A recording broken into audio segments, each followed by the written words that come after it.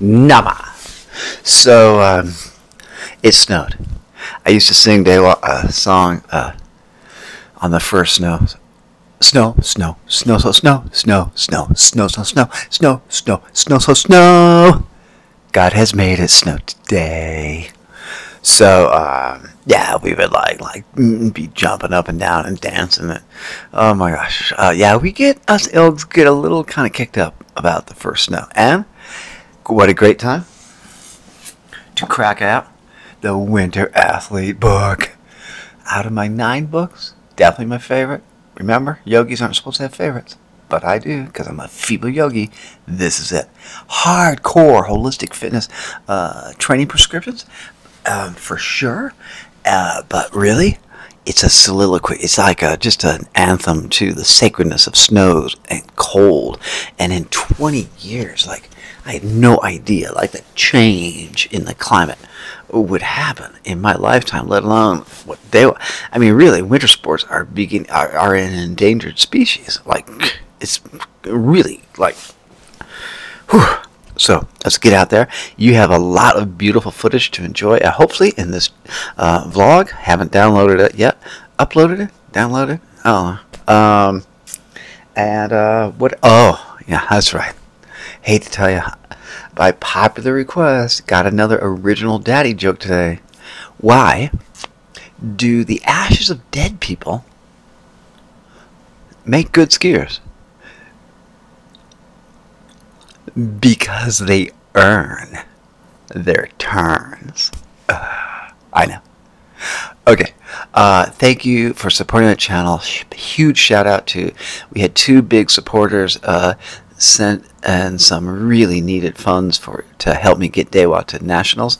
Um, as you know, I took over her training after the regular season of high school cross country, and now I can train her November 19th uh, down in Mesa, Arizona. I'm going to take you guys along, um, and we're going to let the wild horse uh, get it done at the national level. Um, so basically, I've just been resting her. I just I set a 800 meter uh, snowshoe track loop way up at 11,000 feet. Tomorrow, I'm going to run her. I'm going to run the horse pretty hard tomorrow. Deep fiber recruitment, uh, just neuroplasticity of the biomechanics. Uh, there's nothing like snowshoeing that like really uh, invigorates that ligamentous uh, tendinous structure. Um, and uh, just the skill and, and like upper body, like just huh, uh, core and just deep fiber recruitment. So really looking forward to it. Um, you'll see me set the track today. That's the subject of the vlog. And please, if you have any ability, uh, help me uh, get Dewa not only to nationals, but also she's uh, way uh, she's gonna hit Nordic training and race season like the other kids have been training on Nordics uh, in in Nordic, but she's been racing. So uh, yeah, it's gonna be a quick transition. We're gonna try to get her on the junior national um, uh, uh, qualifying meets throughout uh, the region. So lots of money. We don't have a lot of money, so your support really, really important. So thank you and enjoy the vlog. Be inspired and uh, thank you. All right, that's it. Bye.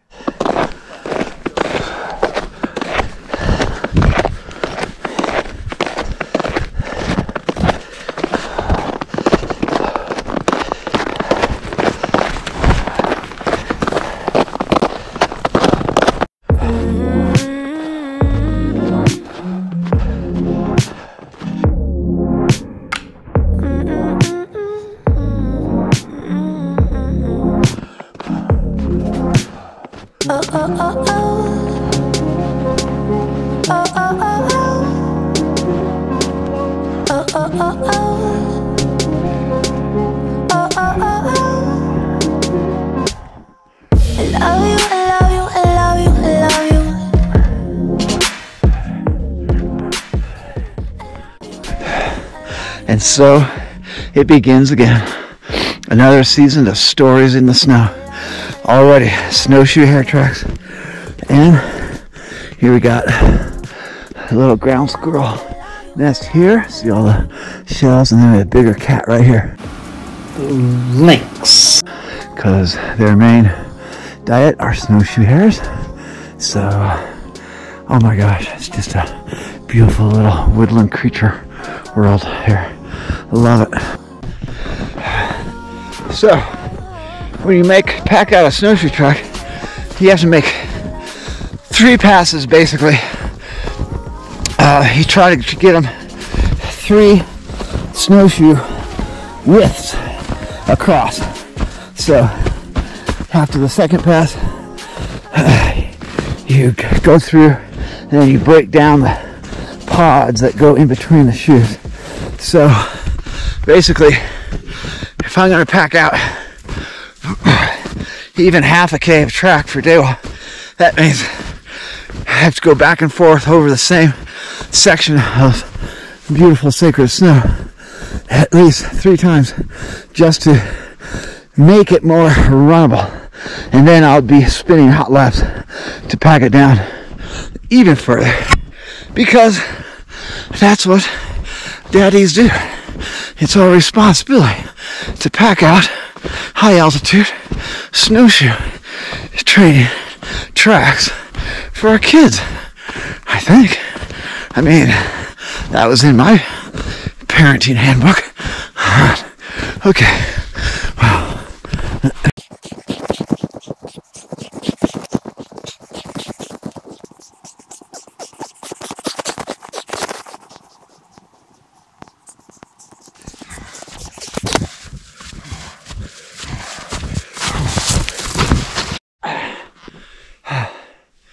Solid.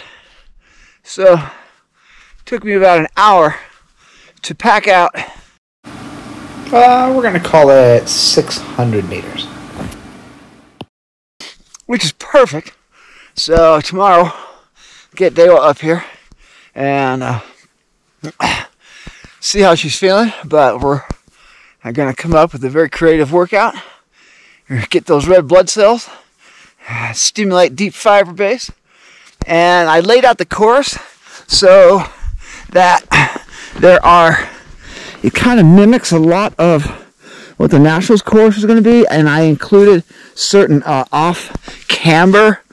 So there's nothing better to strengthen the ankles in sports snowshoeing and uh, work with you know the off camber corners.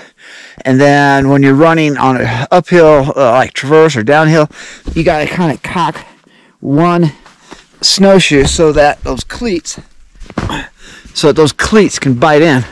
And uh, so we're going to reverse the direction so her ankles get strengthened, uh, you know, holistically, and um, should be a good time. So the trail uh, right now is about 37 degrees, and we have pockets of like sugary uh, snow where the temperature is colder, and then here the temperature is more humid. Um, it has more humidity, so you know it, it kind of packs firmer. But tomorrow it's going to get like 20 degrees overnight, I'd imagine, and then so it goes through a freeze thaw cycle. So tomorrow morning, this track should be uh, really good for running. Hey, did you want to take a lap on it? Why not?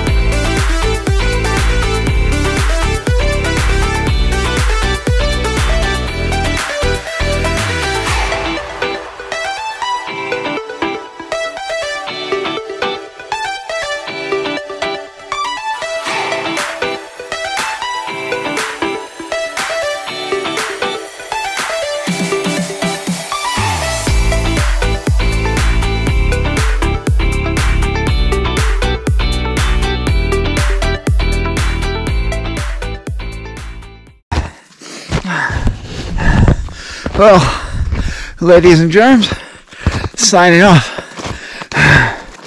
Tomorrow we'll bring up the Northern Lites racing snowshoes. I packed stuff out. These are the old Catula Runner 22s, 22 inches. And so we'll bring out the little uh, flyweights tomorrow, I think, and have a good time. Remember, it was a lot of work, but work is love made visible, said Kahlil Gibran. And uh, yeah, sign off from beautiful Snowden Meadows. Come on, baby, get out and do so as to be.